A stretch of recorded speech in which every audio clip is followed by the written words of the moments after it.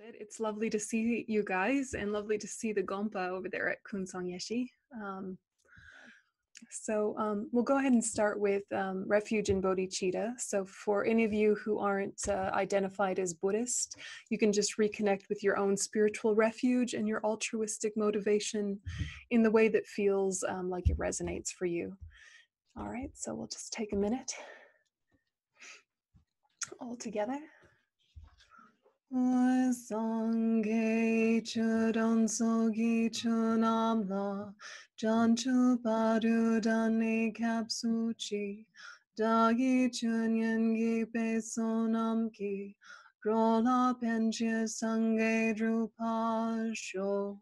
Sangye chudon sogi chunamla janchu padu dani kapsuchi Dagi junyan gi pe sonam gi drola benjia sange drupa sho. Sange chudon sogi chunamla janchu padu dani gapsuchi dagi junyan gi pe sonam gi drola benjia sange drupa sho. Okay. So, um, really, I'm sure most of us are already doing this course for both ourselves and for others. Um, but just to kind of really click that into your mind that again and again, all of the internal work we do with ourself has a direct benefit on how much we're able to benefit other people. And the more we're motivated to be of benefit to other people, the more we're going to benefit ourselves as well. And so just kind of keep coming back to that again and again of I'm in particular preparing for my own death because that will help me prepare for the deaths of others, because that will help me support others as they go through the dying process. And it means also that when I actually die, it's going to be an opportunity, it's going to be an adventure rather than something to be feared. So, um, so all of these reasons pervade the whole concept for going over this topic. Um, I'm guessing that some of you are feeling your own impending death, and some of you are feeling, um, you know, the deaths of maybe your parents or other loved ones that you might need to be supporting, and um, some combination as well. But um, if we come back to the premise that we know and love, um, especially if you've been to Buddhist classes before, which is that death is certain, the time of death is uncertain, and at the time of death, the only thing that's going to really help is your own internal development. So if you were to read this from the Lamrim Chenmo, it would say only the Dharma is of benefit. But what that really means is the safety you've given yourself through your own mental training. Um, friends and family will try to help, doctors and nurses will try to help. They may or not be helpful. right? They may or may not be helpful. Um, they will be going through their own process. So, what we really have to rely on is our own mental development. And the type of mental development we want is something in accordance with the Dharma, isn't it? Something that's altruistic and is thinking to benefit others. So, with that in mind, we're going to be doing some um, kind of like light logistics that, if you think about them too deeply, they'll really hit home with your own mortality. Um, it's okay to kind of touch them lightly, like it's just kind of a fun project, like let's design our funeral, that'll be fun. What's my playlist? And then you sit with it and you go, oh, good heavens, people will be listening to this after I'm dead. This is kind of a message I'm leaving to people after I die. Oh my goodness, that's actually a profound kind of thought. Um, and so just kind of notice yourself navigate in between treating this content in a kind of logistical tick list, get organized, get kind of oriented sort of way, as well as in the kind of deep, profound poignancy of someday we're leaving this body. Someday the people we love are leaving the bodies we're used to seeing them in. And it's not the end, but it is still poignant. Yeah, it's not the end, but it, it still is something that, that touches our heart. And um, while all of this is a grand adventure, and while all of this has great opportunity, it's okay to recognize the sadness as well that comes with talking about and thinking about this topic So, if you can really make sure that you're maintaining self awareness as you listen to this project, yeah, as you listen to this class, because if you can do that, you'll notice if you're starting to get a bit wobbly, you know, a bit of grief coming up, or a bit of emotions coming up, or um, you start getting irritable for no particular reason, or you start getting hungry and attached for no particular reason, and then you think, oh, the content is actually getting to me a little bit. I need to really come back to my spiritual refuge but I also need to rely on my friends and family and, and not try to tough it out or soldier on. You know, if you need to talk to someone during or after this course, um, please don't kind of do a stiff upper lip thing. I'm talking to you, Australia, but everyone else as well. Um, you know, just make sure that you look after each other because you know you can be kind of breezy about it like yeah buddhists talk about death all the time. Do to do just one of many topics. Or you can be like oh my god i never really thought about this. I really am going to die. You know usually what gets to us is the thought of losing people we love. Our our own death we have a you know kind of variable relationship with but what usually gets you is if you think about people you love passing. So all these different levels are going to be touched and just allow yourself to kind of roll through being sometimes flippant, sometimes dark humor, some jokes, you know, that are just kind of a little bit inappropriate but are your tension releasing. And then sometimes maybe some tears, maybe some uh, needing to withdraw and not be around people. Just kind of be okay with your reactions and your responses to this material. You know, be nice to yourself about it and um, Try not to do any spiritual bypassing or jumping over your reaction to the reaction you think you should have. Yeah. We all know that we can transform anything onto the path to enlightenment. We all know that everything can be fuel for bodhicitta. However, in the moment, you just might get a little bit um, overwhelmed or a little bit dissociated or distracted or a bit kind of, as I said, irritable. That can come up because there's part of us that really doesn't want to look at death. Um, for poignant reasons, yes, but also for reasons to do with laziness. Um, if we really remembered that we were going to die, a lot of our everyday habits would be embarrassing. Yeah. So if you put off thinking about your death, then you can binge watch a whole series on Netflix right? but if you're remembering death and you're picturing yourself on your deathbed, are you going to think, oh, I wish I'd watched all four seasons? You know, like, is that going to be one of your regrets? Or is it going to be, oh, gee, I wish I'd, you know, spent more time with my family, or I wish I'd given more energy to deep conversations, or, you know, that kind of stuff. So if you remember death, a lot of your attachment habits show themselves to you and it's a little bit confronting and embarrassing. And so it's better not to think about death because then you don't have to change. And yet, death's going to come anyway, isn't it? And there you are with all of your habits going, oh gosh, I wish I hadn't wasted my life, or I wish I hadn't wasted my health years, you know? So just kind of, um, all of this stuff is just going to kind of float around and digest in a way that's going to be at your own speed but um, notice and be aware of your reactions to this content as well as trying to process the content. Yeah. Okay, so um, so I made you a little PowerPoint because you know I like to write on the whiteboard, but we have no whiteboard or if I typed on the Zoom whiteboard, it's a bit awkward. So I made you a PowerPoint because I'm a little bit of a nerd. Um, but I'll go back and forth between um, just chatting and then things that are more visual. So don't worry, it's not going to be tons of reading. And if you can't read the screen from where you are, don't worry, I'll um, read out what it says anyway. Okay, so we're going to switch to a PowerPoint and just start kind of going through what we're going to be looking at in this course. So, the first thing we're going to be looking at is um, in preparing for our own death. Of course, we're remembering that that helps in assisting others. But for ourselves, we need to look at kind of a twofold approach inner work and outer behaviors. And of course, they go together, um, but just kind of framing it in that way can help you get a bit organized. And then when you're preparing for the deaths of loved ones, here we're really thinking about how to help them through the process the the grief and loss kind of side of it the bereavement side of it um, we'll talk about a little bit next week Um, but this week, we're going to talk more about just kind of getting organized for the process of dying. The aftermath is something that we'll deal with next week. So, what we want to be looking at are ways to support introspection, as well as just outer logistics and connections. And so, um, anything that you're really kind of familiar with and doing for your own process is going to make it a lot easier to talk about when you look after someone else.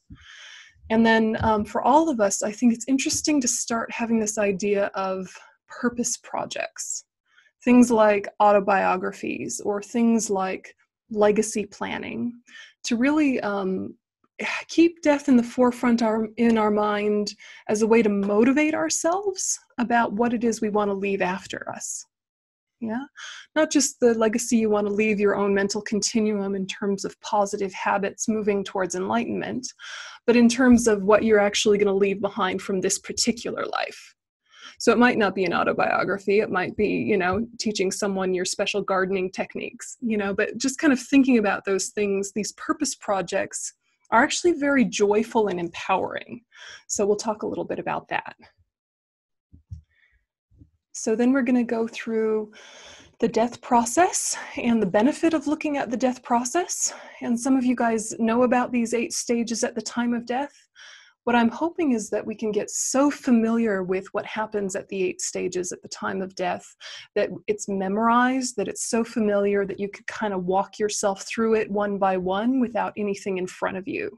Um, it's also very useful to know these stages if you're someone who's going to practice highest yoga tantra so kind of put a pin in that of it's not just useful for um, the sutra path but it's also useful for the tantra path the nine point death meditation is um, what I gave you the abbreviated version of at the top of the class, which was death is certain, the time of death is uncertain, and at the time of death, only the Dharma is of use, meaning your own internal development. And sometimes this is a good morning motivator. Yeah, just kind of like, right, okay, I know I'm going to die, but I actually have no idea when. Yeah, healthy people die before sick people every day, and young people die before old people every day. And I've known that all of my adult life and most of my childhood, and yet I act as if I'm going to live forever. And in so doing, I waste a lot of time. So, um, you know, if it's going to trigger you into a spiral of doom, um, you know, therapy first, then nine point death meditation. But if it's going to be motivating, then this can be something that can be a really useful meditation to be familiar with. Um, and then planning for your death practices, your funeral and, and sort of distribution of your possessions. Um, this is something that we're not going to do during the class time, but I've given you some exercises in your course materials so you can kind of start getting on top of that and um, start making some plans. Then, um, more importantly, is organizing your inner life. And of course, you know, the eight stages are related to inner experiences, but the logistics of just getting used to them is kind of like a study project. Now, internally, most important is connecting with your spiritual refuge. So this begs the question what is your spiritual refuge? Um, and, you know, if you don't have one, uh, think about that. Make one, connect with one, deepen that. Um, it doesn't have to be a Buddhist refuge, of course, but without kind of an inner orientation of what is the point of all this and what is my place within that, death is harder and scarier. And so is life. And then um, we want to look a little bit at examining our life so far, deciding what to do more of and what to do less of.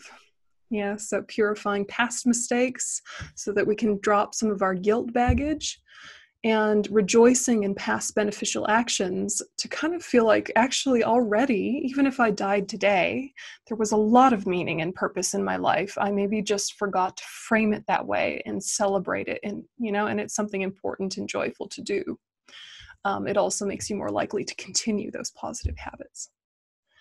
And then, as I said, purpose projects like autobiography, etc. So we'll be going more into that as time goes by. Okay. So getting familiar with the eight stages, these eight stages are in your course materials, but we want to be also aware of them from the observer perspective. Yeah, so when you're preparing for the death of loved ones, you want to know what to watch for. So when you're watching the eight stages, there's obvious physical signs. When you're experiencing the eight stages, there's of course kind of um, mental visualizations that occur, as well as kind of a physiological experience that you have. But it's good to know, you know, what should I be looking for if I'm with someone? Usually, the only thing we know is to listen for like the death rattle, right? When, if you've ever been with someone who's dying, you can really hear a change in their breathing if they're very close to the end. You know, there's kind of a short in breath and a long out breath, and it's kind of raggedy and often um, their mouth is open and they're breathing just through their mouth not through their nose. You know this is in a kind of um, quote ordinary death not something um, to do with a, an emergency situation or an illness. Um, so we know that one but it's nice to know some of the earlier stages because that can help us reconnect the person that we're with to things that will bring them peace. So then we're going to look at some death and dying practices that you can offer during and after the death. Um, and some of those we'll do next week, but just to kind of get you organized on what we're up to. And supporting connections to other people's inner life and outer relationships. So here we're supporting whatever is their positive spiritual refuge or secular ethical connection, right? Um, this is so important. What is theirs? Not yours, not what you think it should be, not what you hope it is, but what actually do you think is their refuge? And, um, you know, I often tell the story of um, when I was with one of my grandfathers when he was dying, and I knew that his spiritual refuge was quite abstract. it was sort of related to nature in some way. He was an old cowboy, he was an old rancher. And um, when I told him I was going to be a nun years ago, he said, Oh, honey, that's real nice. I never had much religion myself. you know, big sky cathedral for me. And so I knew that about my grandfather. So I wasn't going to do all sorts of weird Buddhist stuff when he was dying. We were going to talk about nature, we are going to do poems about nature. And um, and I knew that he was okay enough with Buddhism that I could recite accessible Buddhist prayers. So for him, I wasn't going to do something like the Guru Puja in Tibetan chanting. for him, I did the Medicine Buddha Puja in English, and I gave special attention to the prayers um, that go with each Buddha because they're so beautiful and they're so accessible, and you don't have to be Buddhist to connect with them. You know, and I knew him well enough to know he wouldn't mind that kind of thing. With my other grandfather, he was Catholic, so I wouldn't have even done that. I would have done the Lord's Prayer or something you know? So it's just kind of reading the room you know as well. So who's the person dying? Who's the people around the person dying? You know? And are we going to be triggering family dramas by imposing our plan on the situation? Because the most important thing is to create an atmosphere and an environment where the person who is dying feels at peace and feels connection but also feels okay to let go so if there's a whole family drama, they're going to feel some agitation because of that. So you might go in with a nice plan, but have to adjust it once you're in the room. So make sure that you know you have that in the back of your mind. It's, it's so important to read the room. Um, things you can do when people are still quite lucid is rejoicing in their past beneficial actions. Buddhists know that this increases their merit, and that's a wonderful thing. Even if you don't think in those terms, taking intentional walks down memory lane uplifts them. Often, um, people, especially if they've had chronic illness, they kind of forget, and you know, and they can start to feel like, what's the point? My life's been a waste because the last, you know, two to five years have been battling cancer, and that's been consuming their whole life.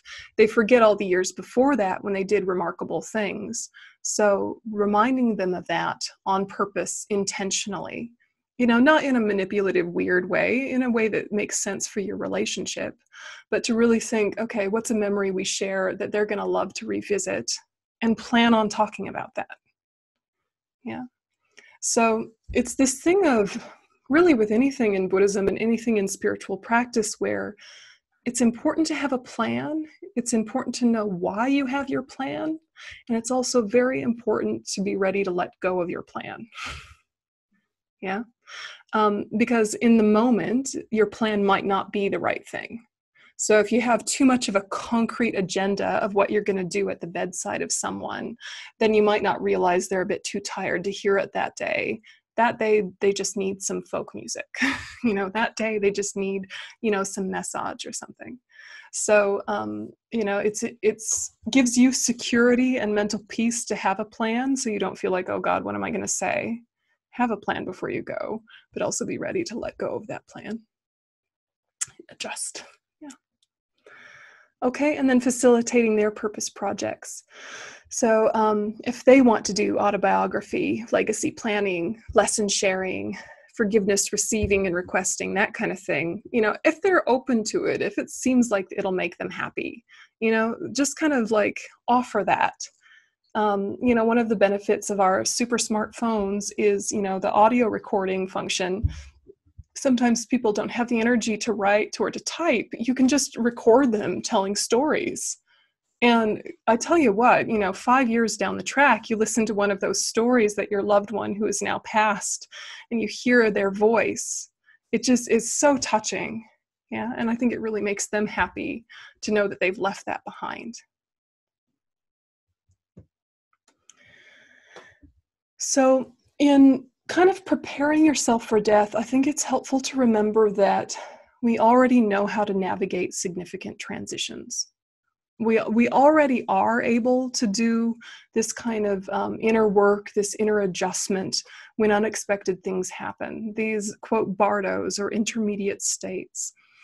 It's important to revisit them and think actually, death is just one of many examples of impermanence. It's just one of many examples of change. And often I have resisted change, and often that resistance has made things harder. what are the times when I went with the flow and I accepted the fact and the truth that things are changing all the time? And it actually became a really joyful process because of that letting go and easing into the movement that's already there so you know if you're really feeling like i don't want this to happen i don't want this to happen for me for them etc just kind of coming back to in the past when i've had that really illusion that stability is possible and that hanging on to a concrete idea of when i thought i needed things to be a certain way how that very process itself made life a lot harder. Yeah so if you can break the illusion of stability and realize you were okay even when things were flowing in a way you weren't expecting, it reinforces your resilience. Yeah. And then we're going to look at the actual bardo, um, the intermediate state that lasts, um, you know, up to 49 days between death and rebirth. Um, for you as an individual, navigating kind of these dreamlike visions that happen in the bardo and then for others practices that boost merit and guide them through that process. So. And then um, next week we're going to go into a little bit more about grief if it's something you're interested in. And so I'll, I'll ask you guys for some feedback at the end of the next session and see if that's a direction you want to go, or if you'd rather go into the direction of learning more prayers and practices um, for dealing with um, the loss of someone after they've passed. So, kind of which direction you guys prefer can can dictate where we go with this. But the brief one to look at is grief that is not particularly functional, but is very common. Okay, so just really gently, we're gonna we're gonna take a little pause here and look at grief, just so that it's kind of on our radar. Of it's not against Buddhism to deal with your baggage. Buddhism is dealing with your baggage. okay, it's just not identifying with your baggage. So we want to accept grief that arises with really huge compassion for ourselves. Yeah, whatever our response is, we want to be really accepting and compassionate of that while at the same time very gently challenging what is going on behind the scenes of this experience. So, some of the grief that happens is in anticipation of loss. And some of this is seeming like you're saying to the person who is dying, I love you so much, I need to show you that I'm sad that you're dying. However, it's actually a story about you and you're losing something that you want to be there. And it's actually a little bit like objectification, you know, like a kid losing their toy. And that sounds very superficial, and we don't want to admit that we think of people and relationships in this way. And of course, we don't quite as superficially as that. But some of the grief that we experience is I gave all the power to this external thing to give or take happiness. And now it has that power. And so thinking about it going is freaking me out. And if you kind of let yourself get indulged into that behavior, it's harder to companion someone through their dying process. It's harder to be present because you've made it about you.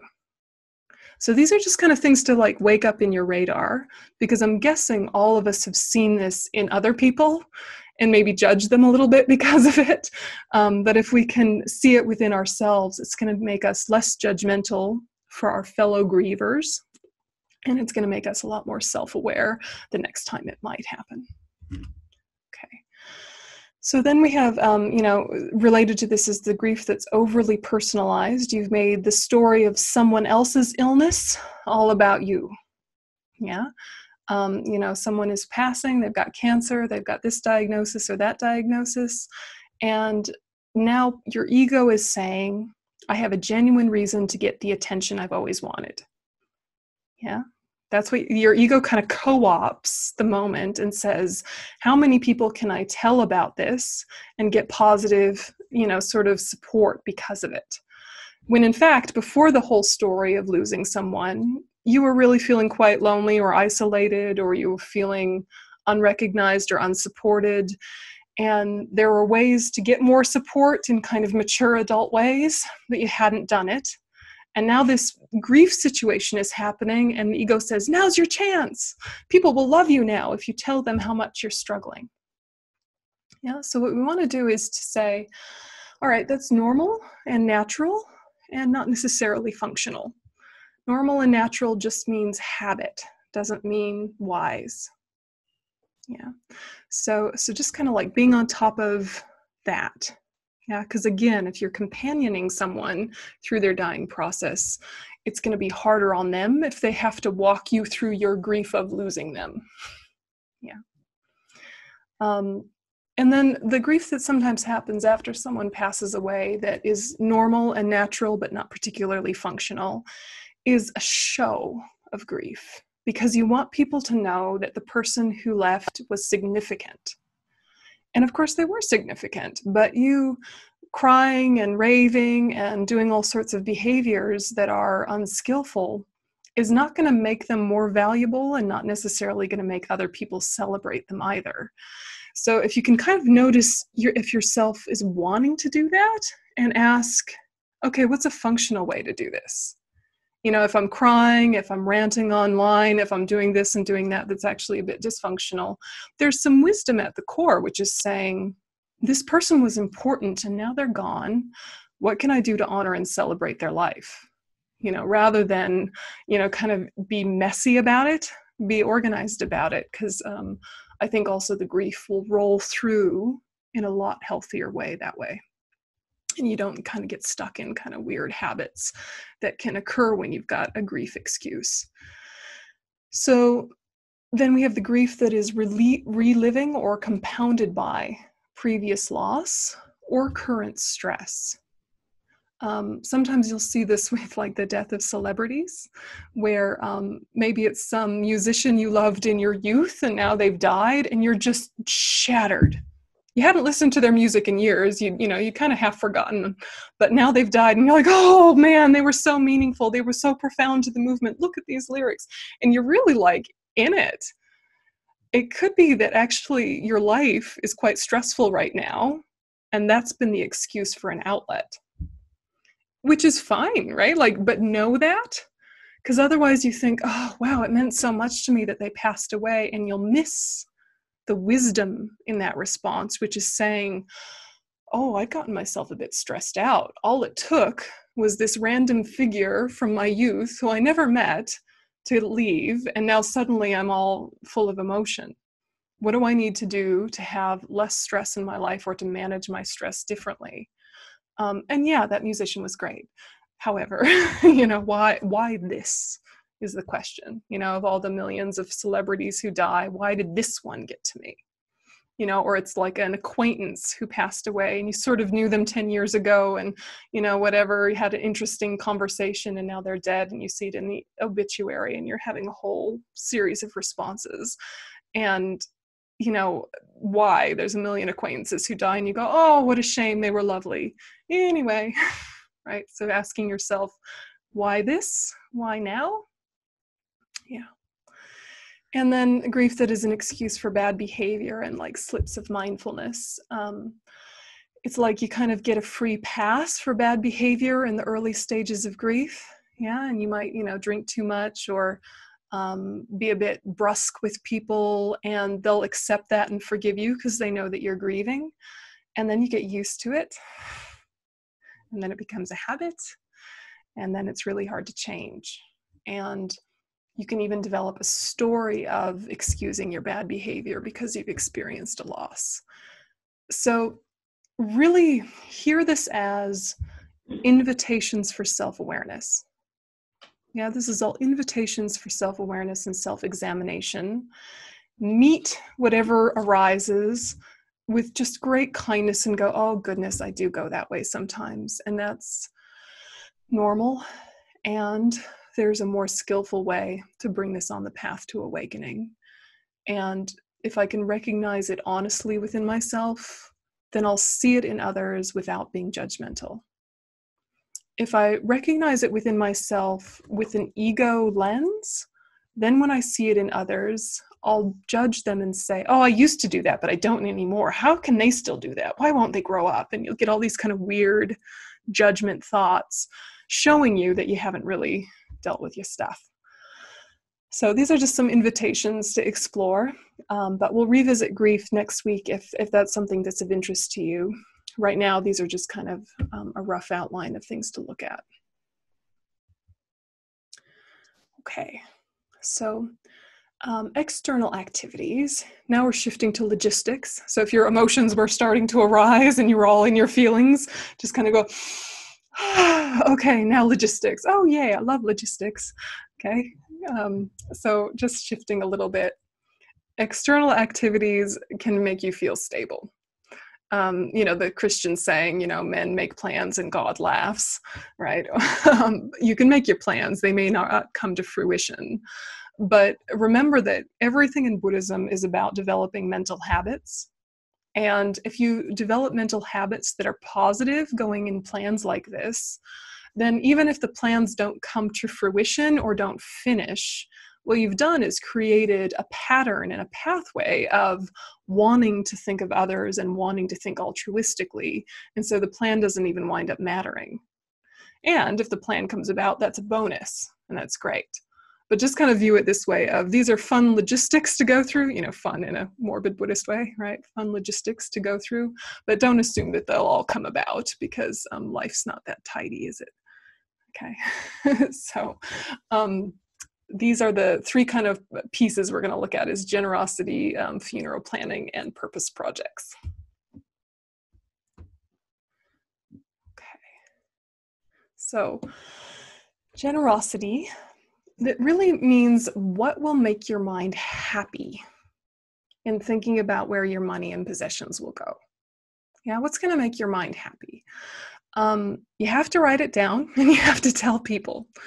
You really do. Um, if you are one of those people that says, Oh, I don't really care, you guys just sort it out when I die, I don't mind, you just sort it out. It actually puts a lot of pressure on the people who are left behind. It's actually a great kindness to say, my china goes to my kids and my silverware goes to my nephews and my you know it's it's actually a kindness because it means that people aren't going to have awkwardness and arguments after you pass away. So if you think oh i don't i'm not really materialistic whatever just you know whatever you guys sort it out. It, it's nicer if you actually just tell them what you'd like happen yeah. Um, particularly with your money particularly if you have children um, as transparent as you can be about that so that they don't get surprises and shocks. and what can you give away while you're still alive? because that's more fun, right? Because then you can be like, look, and they're like, yay, you know, and you can tell them the story of it. You can say, here's this teacup, and they're like, well, that's pretty. But if you tell them why it's important to you, then they see that teacup and they're reminded of the beautiful story and they're reminded of you. And then even if the teacup breaks, it doesn't matter because now they have that beautiful story and connection of you. If you just kind of leave it to them randomly without any context, they might feel this whole guilt relationship with the object like, oh, I should keep this, but I'm not sure why. This was important to someone I loved, so here it is gathering dust. And then if it breaks, they feel guilt and shame and regret and all these like existential angsty things, or they sell it and then feel terrible or whatever. You know, so communication and transparency. Um, it's awkward at first, and then it gets fun you know then it actually becomes something to really look forward to of ah the next time the grandkids come over i'm going to tell them the story of this blanket and how my great grandmother made it for me and i'm going to wrap them up in them in it and give them a big cuddle and then again even if they never wind up having the blanket or it gets destroyed they have this beautiful memory of the story and you cuddling them in the blanket you know stuff like that but the point here is that these things aren't going to get organized by waiting. Yeah. And the awkward conversations aren't going to get lot less awkward by waiting. And if you kind of um, break the ice now, gently with your friends and family, very tiny things, it's going to make the conversations easier as time goes by. Yeah. And you can always start out with these things asking people is it okay if we talk openly about this or is it going to freak you out can say look i have some stuff that i want to you know deal with before i die do you feel comfortable having that conversation? Because i'd really like to share some things with you. They might say sure uh, or they might say i'm not quite ready or they might say yeah cool you know but you know just start. So um, more important um, from a spiritual perspective, of course, is the non material legacies that you want to share, which tie into feeling a sense of connection and purpose and really making the rest of this life, even if it's decades, feel more meaningful. And these you don't have to tell people, I'm planning for my death. You know, you don't have to frame it that way. It's something that you know in the back of your mind. But to think, what do I want to share? You know, teaching various skills to the next generation.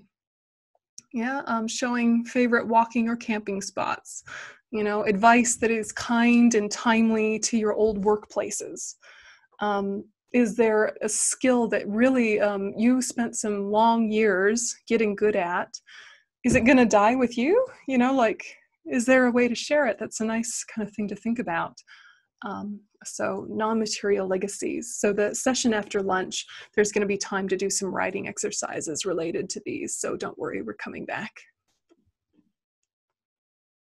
And then um, for funeral planning, I've given you guys kind of a rough funeral structure that's quite common for Western countries. And then you can kind of play with it and say, oh, I'd like this to go there or this to go there. But if you see the common structure, it can kind of make you feel less overwhelmed and kind of oriented. Like oh yeah i've seen things go like that and i really liked it when they did this or i didn't like it when they did that. And um, so that's kind of a project to think about.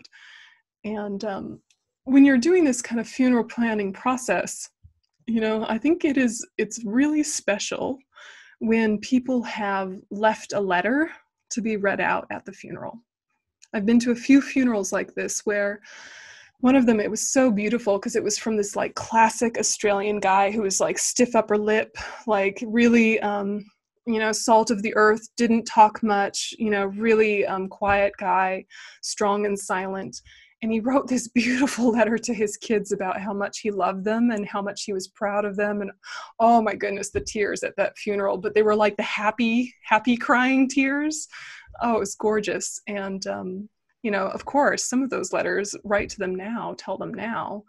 But if it's too awkward, write your, you know, your funeral letter and tell people where to find it or give it to your lawyer and tell your lawyer to give it to so and so. But it can be really moving. Can be really moving. Um, you know, I think other things are to think about if you're card carrying Buddhist is what imprints can you leave for your relatives? Yeah, ha ha ha. Like stealth imprinting. Yeah, because they might not have listened to your Buddhist nonsense while you were alive, right? But now you've got their attention. right. Um, so, what are some uh, accessible Buddhist ideas and prayers that maybe you want to share with them, even if it's as simple as, you know, the purpose of my life was trying to have compassion. Compassion was important to me because. So as I transition from this life to the next, I hope you, friends and family, connect with ca- compassion in this and this and this way. You know, it could be really basic, but, um, you know, have a think about that or what some kind of last minute imprints you can leave. Um, so next week I'm going to give you some Buddhist prayers and some Buddhist practices, and I'm guessing one or two of them will will resonate for you, or it'll remind you of poems that you've always loved or songs that you've always loved, and things to kind of have on your list. And then we've got purpose projects. Yes, and um, I guess you know I've covered most of this, but the main thing here is to think about what's one going to f- keep you connected to your spiritual practice and to your motivation for life? Two what is going to be of benefit to them when you're gone? And so handwritten messages i tell you what people treasure those especially now that we type everything. You know you you leave your kids behind some letters i mean goodness. You know they're gonna they're gonna weep but they're gonna love it and they're gonna reread it and maybe they're gonna frame it. You know th- these sort of things are so precious for people um, and again, recording yourself, um, like reciting stories and songs or like life lessons, you know, you could just start making a little list on your phone of here's things I've noticed about people, you know, and your friends and family listening to them later will be like, oh my gosh, that is so like them. And they'll laugh and remember you. Um, I found that when I um, am doing work with people who are dying, if I tell them, let's do some recordings, of course they're awkward at first, but then I kind of, you know, invite like, who might love this? Like, what's the story you always said to your grandkids? How can, you know, can we film you doing it or can we record you doing it? And then they can listen to it, maybe even play for their kids, you know, it's really joyful. Yeah, so purpose projects. Okay, so these are the main things kind of for external activities. And again, there'll be time to kind of do some writing about this after your lunch break, but just kind of, you know, ideas to put in the hopper. Internal activities more important. Yeah. Um, before I go into the internal activities, did you want to ask anything about those um, external ones? You know, just kind of uh, if I lost anybody? Or if you um, were thinking of one that um, that I didn't mention that you'd like to share with folks.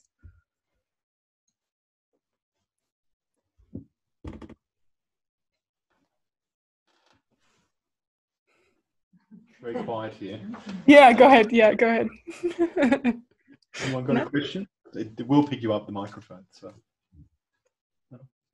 very quiet. Or, um, or um, additions additions. Any other things when you look at these generosity funeral planning purpose projects um, stuff you've seen other people do that really um, seemed joyful and seemed really connecting and that you thought oh that's a great idea. You can digest. Okay well jump in if you think of them later. We're going to go to internal activities Okay.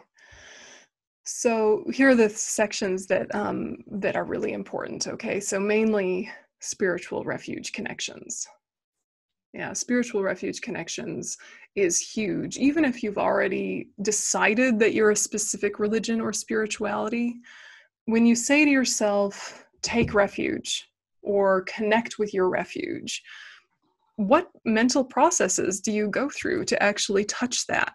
to feel held, to feel safe from your own negative states of mind, to feel released from, you know, fear, anxiety, depression, etc., or at least enough distant from them that they haven't dominated your mental experience.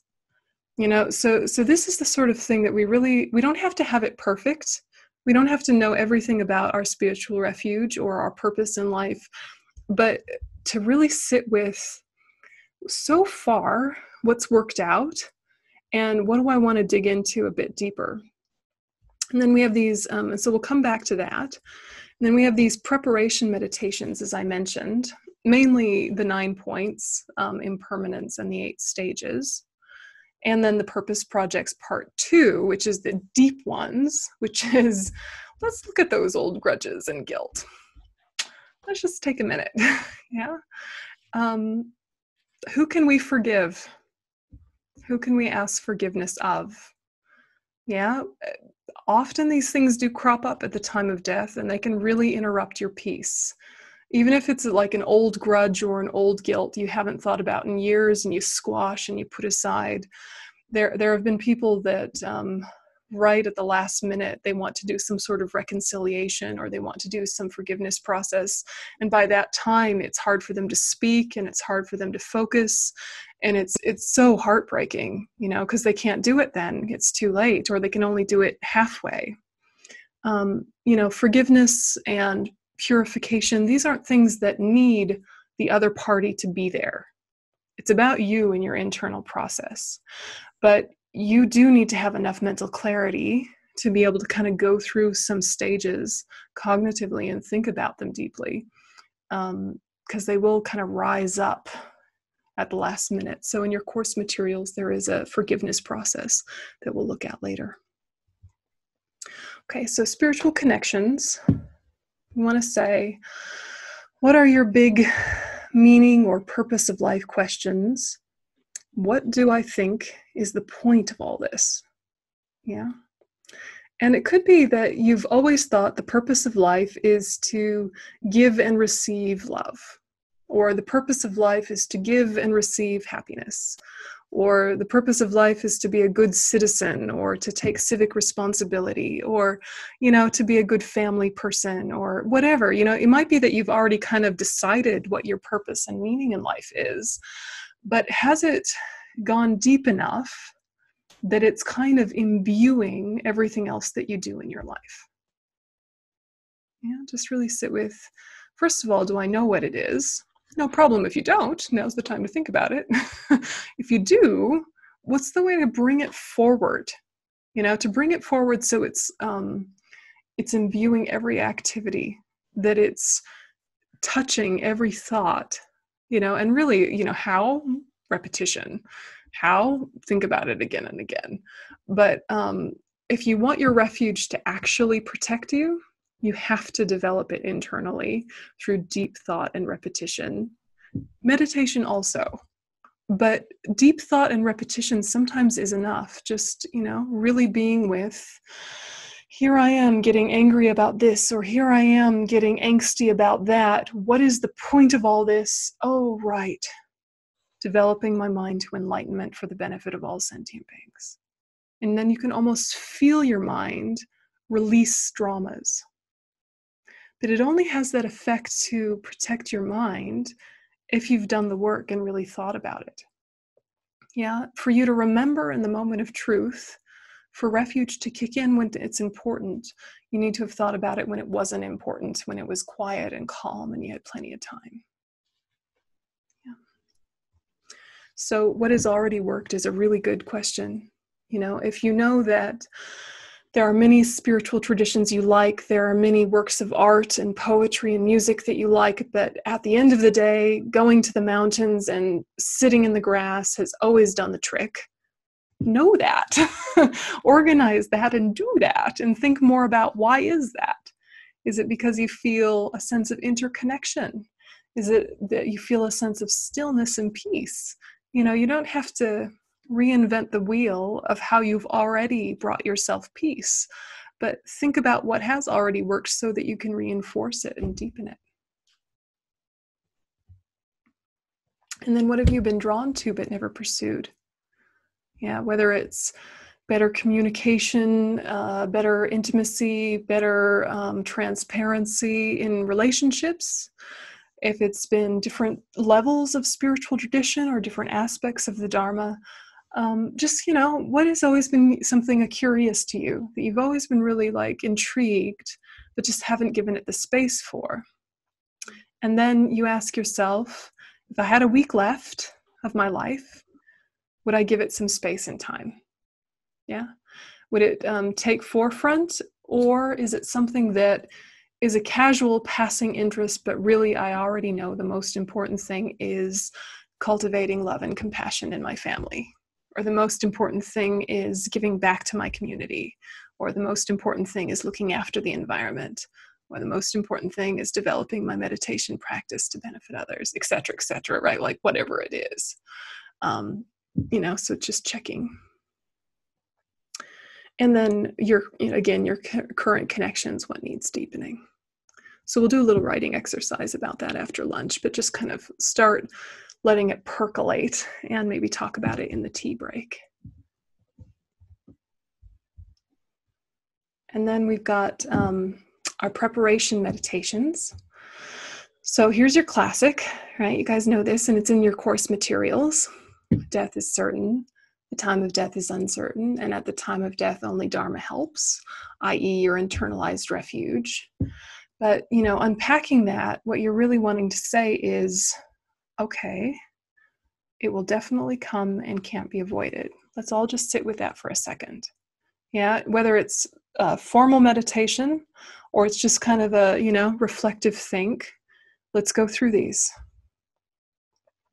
Okay no matter how safe or well you take care of your body, you can't buy off death. Yeah, you could eat organic, heirloom, everything perfect. You can't buy off death. Um, you know, the grandfather I mentioned, he lived to be 92. He ate tons of bacon, smoked like a chimney, drank a whole bunch, lived to 92 my dear friend Janie, who I loved so much, she was such a wonderful person. She died when she was 45. She did nothing but eat organic. She, you know, let her emotions flow through. She lived in Montana where the air is clean. She did everything right and she still died at 45. So, you know, we all have our stories like this.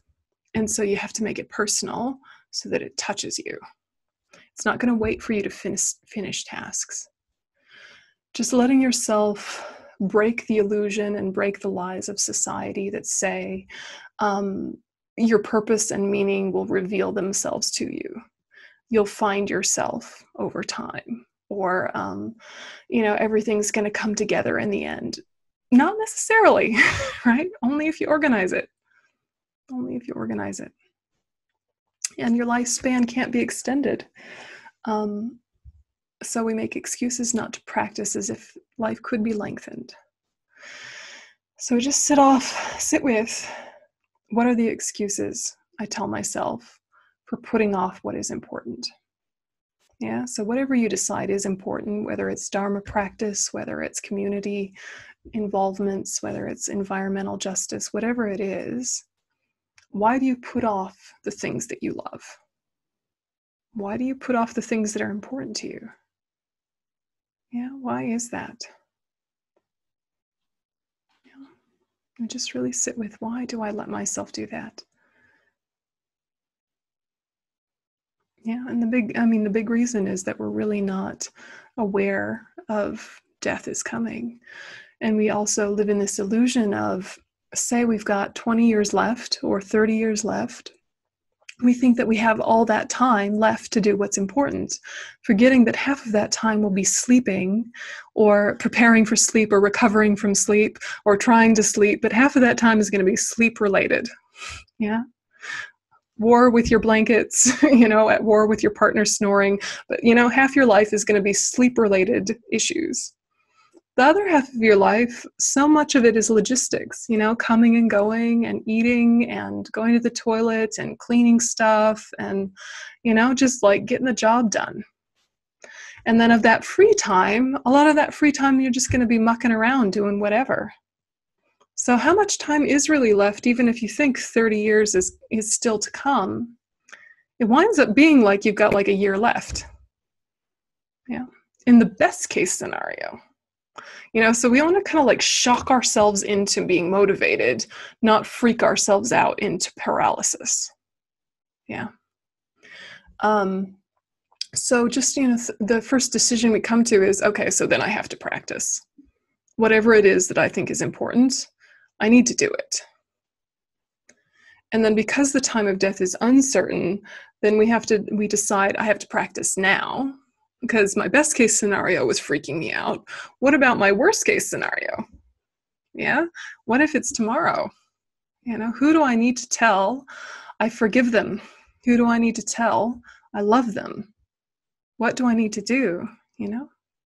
So I must practice now. And really, what anger is living in our hearts that we need to release? What grief have we been hanging on to as an identity fixture? What attachments do we not want to take with us to the next life? You know, just really like, oh, right, I need to get on top of that now. Yeah, now. And so then at the time of death, nothing helps but our spiritual practice. It's important to really sit with how little friends and family are actually going to help you at the time of death. If you're very lucky and very well organized, you'll have friends and family who are going to remind you of your spiritual path. Most people have a mixed bag of friends and family who may or may not be on board with that. You know they might actually be quite distracting and you have to make your death about looking after them which is a lovely offering. But to assume they're going to be there to support you in the moment of truth most people kind of give in to their emotional experience. Yeah and it's good to know that rather than to be shocked at the time you know and you know, at the time of death, our wealth is no help. You know, even if we live in a really beautiful aged care facility, even if we have great doctors and nurses, um, you know, it's not going to buy off death. It's important to remember that, and that our body is of no help when we're dying. It starts to rebel on us. Yeah. And so the things that we just took for granted, we already feel that as we age. Things that used to be so easy become harder and harder at death, especially in the early moments before death, mental processes become very difficult. Yeah, it's hard to think clearly, it's hard to move the body. You know, don't plan for the way you want to practice based on how your mind is on its best day. You know, start thinking about how your mind would be on its worst day. Yeah, and so then your third decision is then I have to practice purely without being driven by the eight worldly concerns, right? Um, you know gain and loss um, pleasure and pain uh, law you know praise and, rep- and praise and criticism uh, good reputation bad reputation. You know we don't want to be obsessed with those things at the time of death because they honestly don't matter. But if you've been obsessed with them your whole life it's going to be hard to suddenly let go in the moment of truth isn't it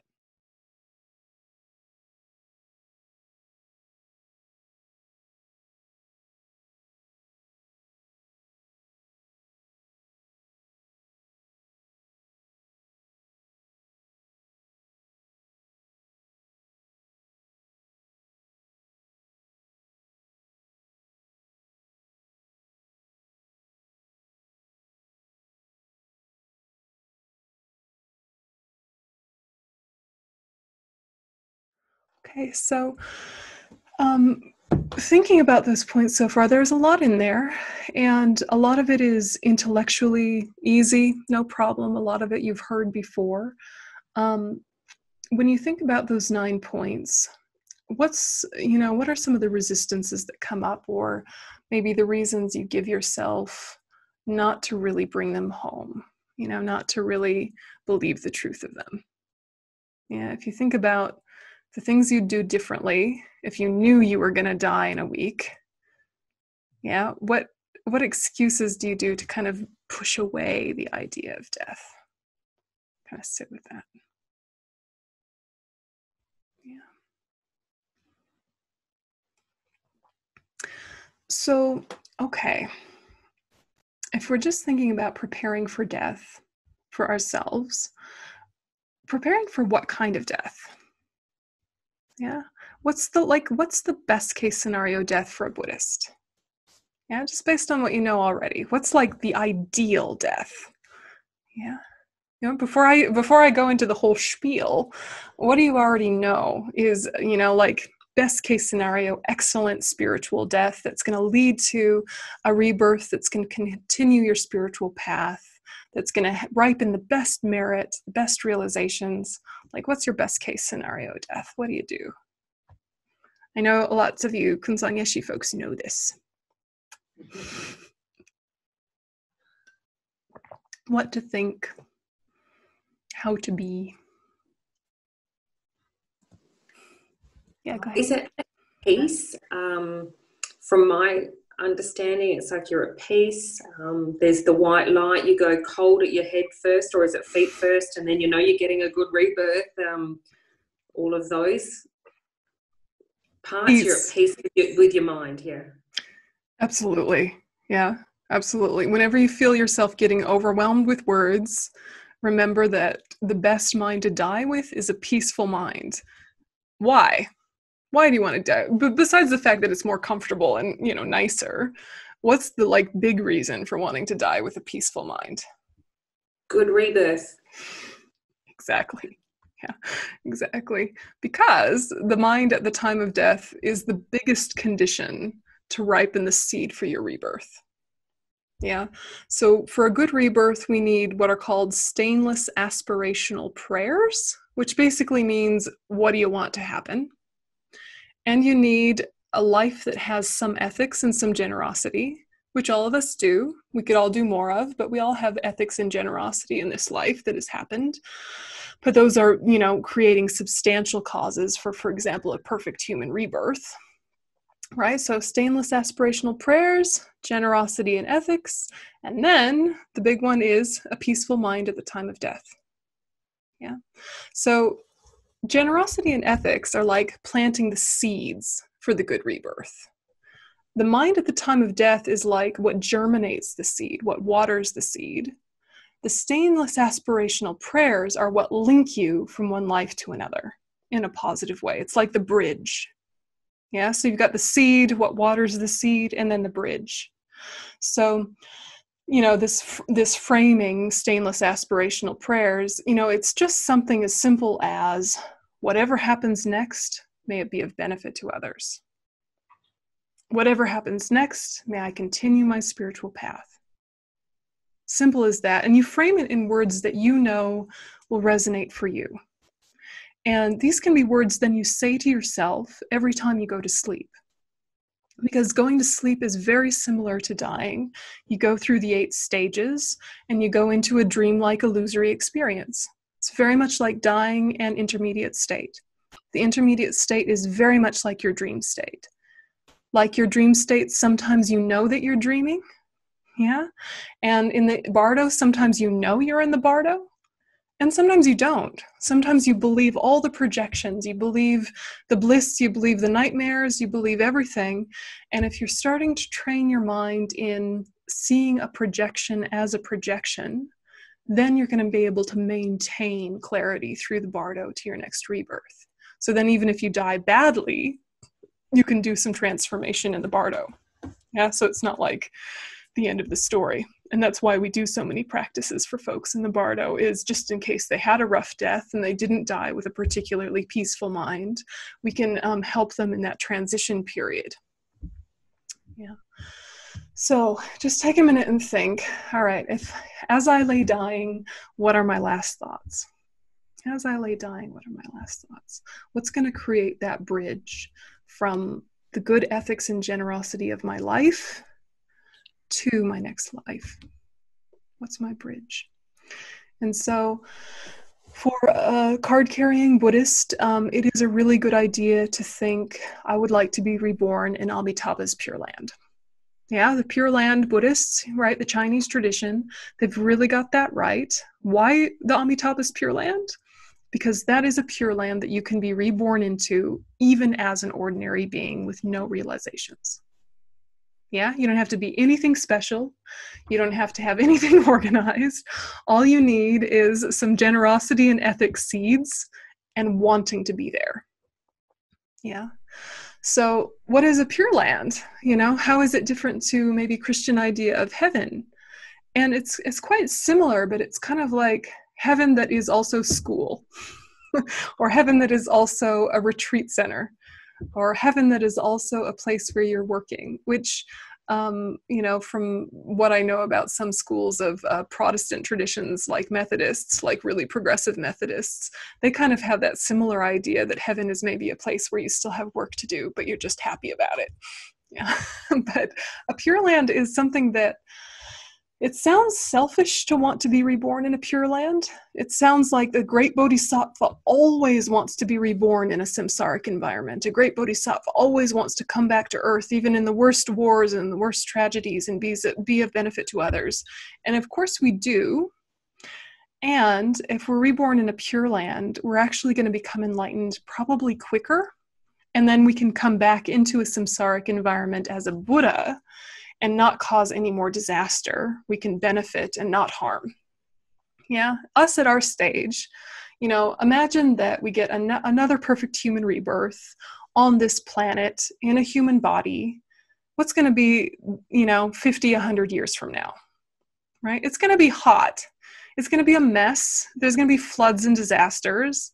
There might be all sorts of wars happening. There might be more pandemics and there'll be beauty and forests and trees and things probably somewhere but it might be kind of a disaster in 100 years. So if we get a perfect human rebirth on this earth we want to be of benefit to the sentient beings on this earth. But if you ask yourself if i have the exact same mind i have now in a world that is more uncomfortable than it is now am i going to be that useful or am I just going to be coping? You know, I'll maybe help a few people, I'll help the people in my immediate circle, kind of like we're doing now, and just trying to get through the day. Yeah, so it is a very advanced mind that can enter into a samsaric environment and not be distracted by the samsaric environment, not have it ripen seeds of their own negative dispositions to be not negatively influenced at all by samsara, you need to be out of samsara. Yeah, you need to have a mind that is not samsaric, and ideally, the mind of a Buddha. So remember that samsara is the five aggregates, right? It's not a place, but the place of samsara is created by the projections of the five aggregates, or by the projections, particularly of a samsaric mind. Yeah. So for a Buddha, they can see the samsaric environment that is conditions for suffering for sentient beings, while at the same time seeing all the beauty and the lack of inherent existence and the Buddha nature of everyone. They can see all of that all at the same time. For even a very advanced bodhisattva, they know what the illusion is, but they're not necessarily able to see through the illusion in every moment. They see through it only when they're in meditative equipoise and then that informs how they are when they're not in meditative equipoise. So it's like they've seen through the illusion, so then when it appears again, they're less likely to believe it. But just like us, if we go to a scary movie, we know it's a scary movie and it's just a movie, but still, if a scary monster jumps out at us and we're not really centered or mindful in that moment, we might still go, eek, even though we know it's make believe. Yeah. So, Pure Land aspirations are useful yeah, and the more you think about it, the more likely it is to come up at the right time. There's lots of um, prayers to be reborn in Amitabha's Pure Land. The Amitabha mantra is Om Ami Hri. Om Ami Dewa Hri, Om Ami Dewa Hri. You can visualize red Amitabha Buddha at the crown of your head and just think, okay, when the time comes, take me. when the time comes, take me. So tons of pure lands tons of pure lands but that's one that'll take anyone right? You don't have to have special realizations or anything to be reborn in amitabha's pure land. Okay so before i go into other other ideas do you have questions about pure lands or questions about amitabha? And then i'll go into some more secular ideas as well.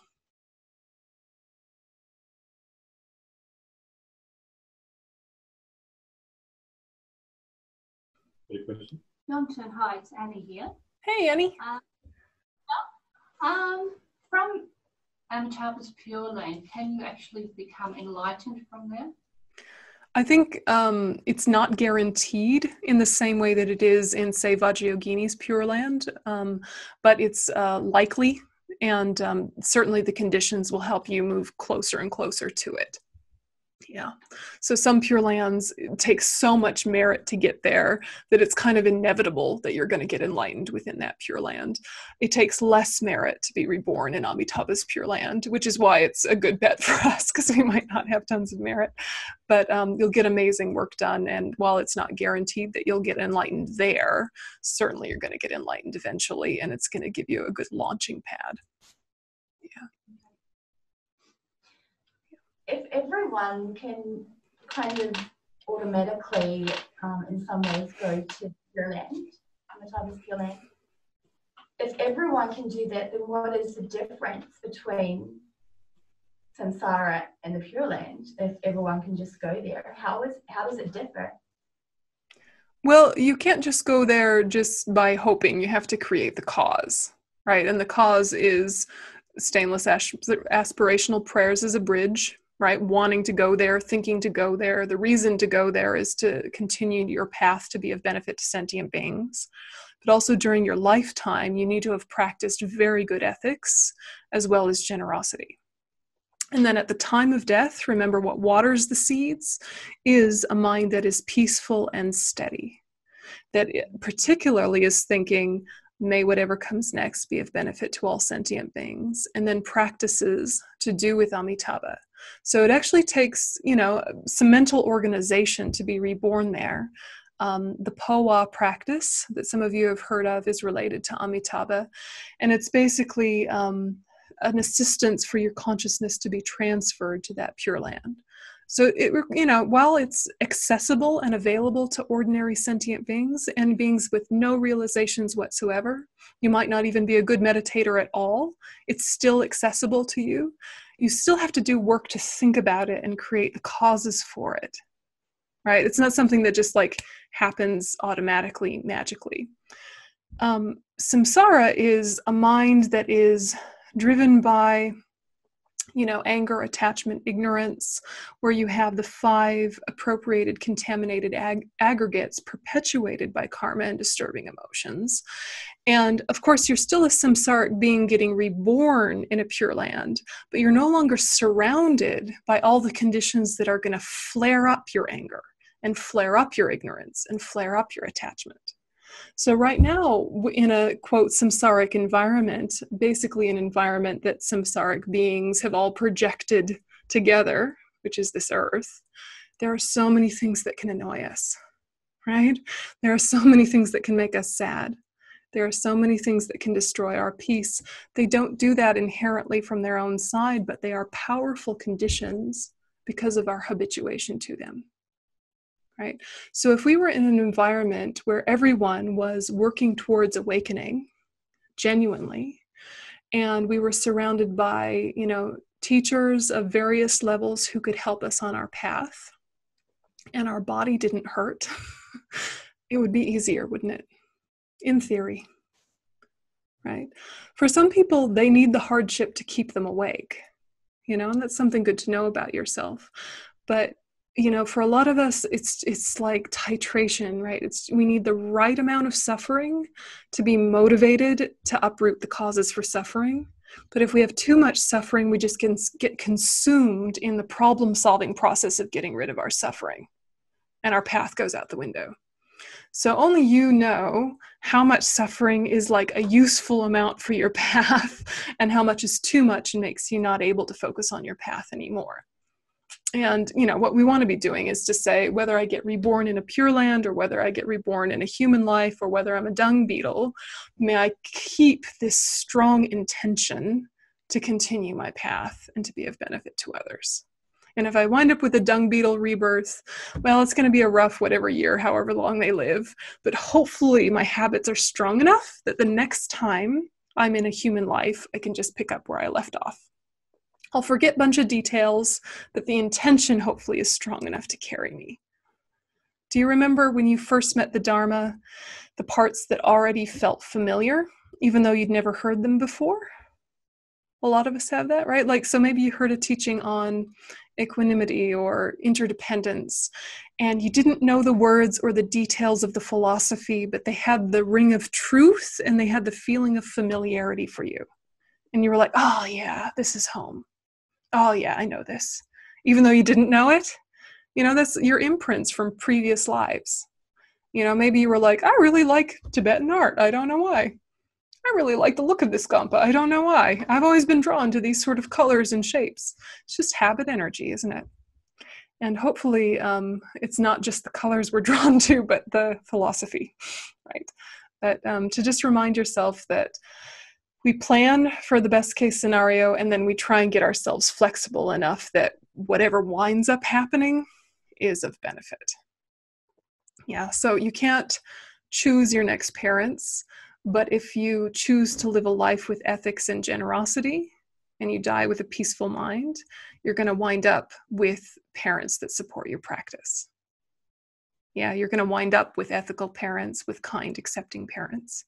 So it's it's not like um, we can be like, oh, now that I'm organized, I shall take you to seem great. it's it's going to be a long time before our minds are clear and organized enough to actually choose them. Um, yeah, we have to have some realizations to actually choose them. But it almost becomes as if you've chosen your next life if you're very, very organized with your ethics and generosity and this prayer to be reborn in a way that's of benefit to others. Yeah, because there's a bunch of great parents out there, a bunch of great Pure Lands out there, right? So we don't have to be too specific. Yeah. But what do you guys think about that? Is that sitting well, or is it kind of like, oh gosh, I want more certainty? Yeah, Teresa. I have a question for you. Um, I have a, uh, a short sadhana practice that I do in the morning, and there is a portion of that practice that um, is similar to what you're describing. It isn't necessarily a pure land um, prayer, but the imagery resonates. Um, I'm just going to read a couple of the, the, you'll probably know what it is, but I'm just going to read a couple of the lines. Um, May the surface of the earth in every direction be stainless and pure without roughness or fault, as smooth as the palm of a child's soft hand and as naturally polished as lapis lazuli. And so it's it's setting the stage for the actual practice, but it's very similar to what you're describing. And would that be a a, a nice substitute to, yeah. Uh, or would you well, it, it's interesting because what you're describing is that, like, it is very much described like a pure land. But what you're doing is saying everything that is perfect and pure and valuable that I may have attachment to, I'm offering as a symbolic gesture to say the most important thing is mental transformation. My gateway to mental transformation is the Dharma, or my gateway to mental transformation is this teaching, or my gateway is this sadhana so definitely you can use that imagery for sure. That particular prayer is more it's an offering. But that offering is an offering of generosity which will plant a seed which will come in handy. You know so it's okay. definitely it's related. It's very related. But um, bring prayer isn't quite a pure land request um, but it certainly has aspects that are similar.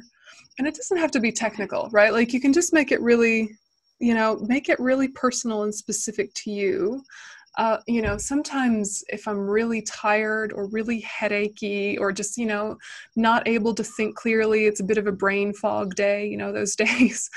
Sometimes, you know, when I'm walking around and I'm trying to stay mindful, the only mantra in my mind is for all sentient beings, for all sentient beings, for all sentient beings you know, or just Om Mani Peme Hum, Om Mani Peme Hum, Om Mani Peme Hum, you know, and that is enough if it's real, if it's genuine, if it touches your heart. You know, so I'm going to throw out a whole bunch of options. Don't feel like you need to take all of them. Choose the one that resonates for you. Okay. Yeah. Yeah. Yeah. It's a good question. Yep. All right. Um. Any any other uh, Pure Land thoughts, questions? So we're clear on um, what you need is the seed for a positive rebirth, which comes from generosity and ethics to water that seed. At the time of death, you need a peaceful mind, particularly an altruistic mind. The bridge is really an aspirational prayer that has clarity about where you want to go, even if you don't wind up going there. So you could say, I'd like to be reborn in Amitabha's Pure Land.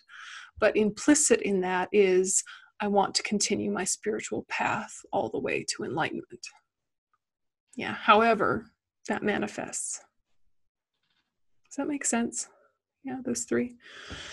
So that's that's the important bit to kind of get on top of. So if you're thinking about that nine point death meditation, it's just a little bit of a wake up call so that you know you kind of keep these things in the forefront of your mind. Remember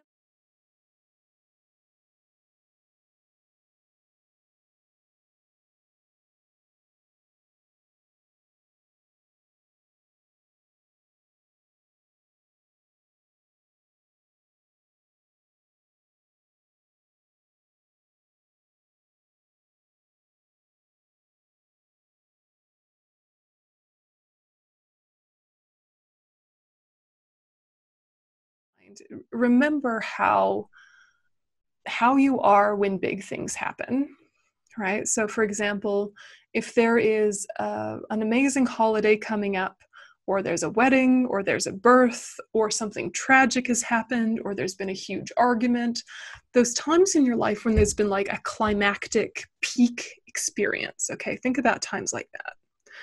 Everything else kind of falls into its correct context and its correct size. So if you're stuck in traffic, it's like, oh yeah, stuck in traffic anyway. Because you have a bigger thing on your mind, right?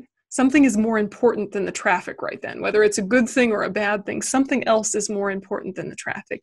It fades to its correct size. If someone is rude to you at work, you're like, oh yeah, people are rude at work. Anyway, this thing is dominating my mind.